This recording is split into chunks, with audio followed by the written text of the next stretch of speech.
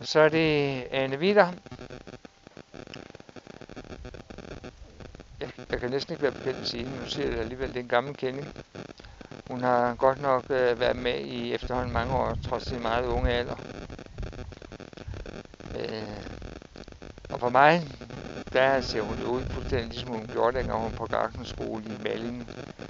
Øh, for, jeg ved, jeg, jeg, jeg, jeg, jeg kan slet ikke finde ud af, mange år siden ja. Medlem af Dansk Køreselskab, øh, er jo født og opvokset ude på Amageren i nærheden af Rågården, øh, og selvfølgelig fået en indvirkning på det derude.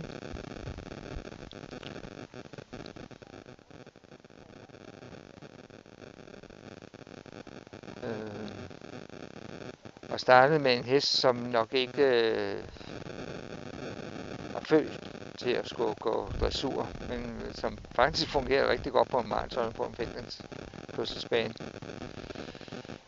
Og har flere gange ligget til toppen til Danmarksmesterskaber, og øh, været med til verdensmesterskaber også. En af hendes øh, bedste øh, opnåede resultater, når man trækker på den øh, linje, er vel vinder af verdensmesterskaberne i forældreskørsel i Portugal for hvad? Det er måske 6 år siden. Jeg nægter at tro på det, men øh, det er den nok. For, fordi der er to år imellem. Øh, ja, det kan også være fire år siden. Det ville jeg helst håbe, det var. Men øh, det er jeg nu ikke sikker på. Og øh, der tog hun en bold og lå inden da øh, sådan i midten af feltet. Og en bold og ingen tidsfejl, det vi plejer at blive slået til sådan et øh, vand. Men det var en meget vanskelig bane, og det vidste du godt. Nu har vi lidt galop her øh, på vej til sikkervinden. Det øh, er vi ikke så begejstrede for. Men øh, hun blev ved med at ligge på førstepladsen. Og jeg vil bare sige, at som dansker og kending af de her guldskæld tager ud, der er det ikke sjovt. Man øh, bliver glad hver gang, at de andre de tager en bold. Det er jo ikke pænt. Og øh, I skal ikke sige til udlændingen. Øh, men øh, det gør man jo. Og det holdt hele vejen op, som blev verdensmester i disciplinen med en Oldenborg hest var det på det tidspunkt. Hun gør med. Så Oldenborg var selvfølgelig heller ikke kunne få armene ned af bare begejstring.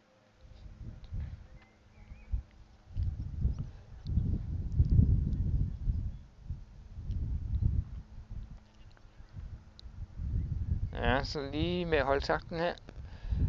Det er jo det med hestene, de ved godt, hvad der skal ske. Så er sjænkvinding her.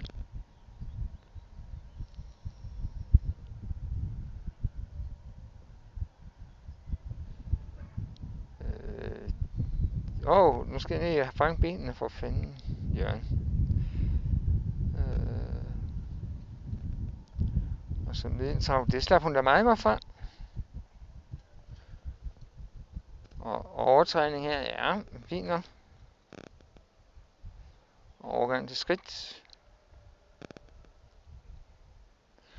Måske lige en lidt lang overgang, hvis vi går ned i penitesser, og det gør vi jo. I hvert fald i den her klasse, så har vi lige en lidt takfejl der.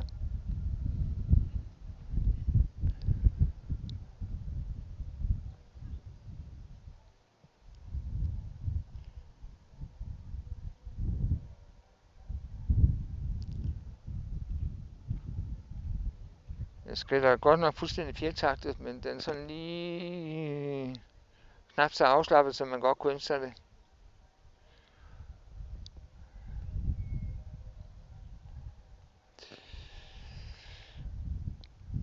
Anvita er jo også øh, primus motor i de arrangementer, der bliver lavet ude på Amager i Ullerup Køreforening.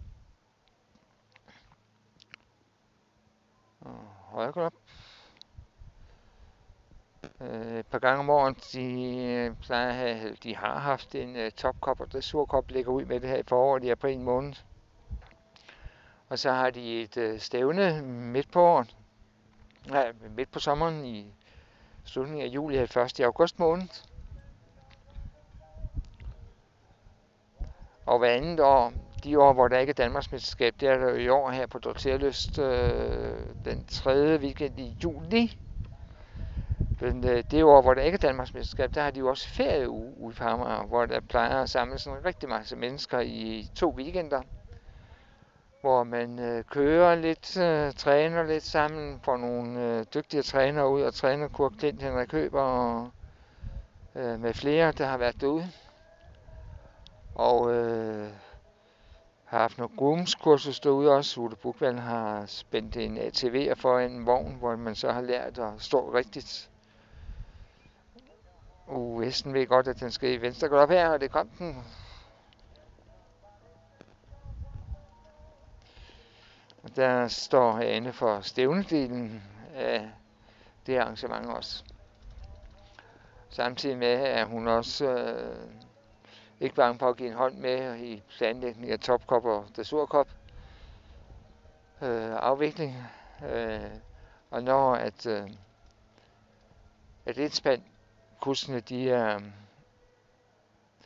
til VM, og hvis hun er med, så er hun også en af dem, der gør alt, hvad man kan for at samle dem, og det skal blive et godt team. Så er nogle øh, kuske, der er guld værd.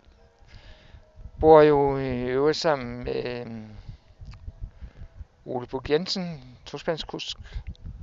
Og så er hun mor, øh, og han er far til Frej, øh, som vi så i Derby går og kørt med tandem. Så det er også et sted en familie, hvor at øh, kørsel med hestevogn, det er højt på listen og bliver brugt rigtig meget tid på det.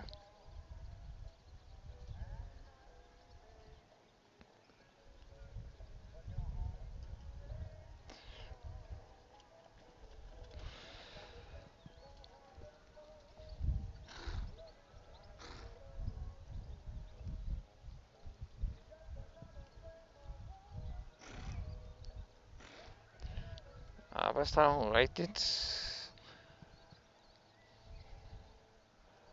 Og ind til E, og så ned i samletrav.